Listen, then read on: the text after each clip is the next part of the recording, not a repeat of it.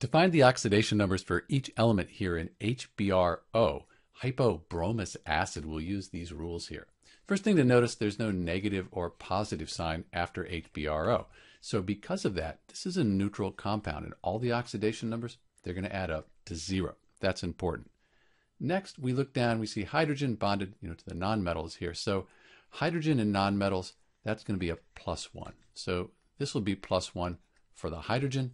Bromine, normally that's in group 17. The halogens, we think of it as being negative one, except there are a few cases where it's not, when it's bonded to more electronegative elements like this oxygen and fluorine. We really don't know what its oxidation number is going to be. Let's just call it X. Oxygen, that's going to be minus 2. So all of this adds up to the 0 here. So we can just set up an equation. 1 plus x minus 2 equals 0. So x, this is minus 1 equals 0. And then x will equal a positive 1.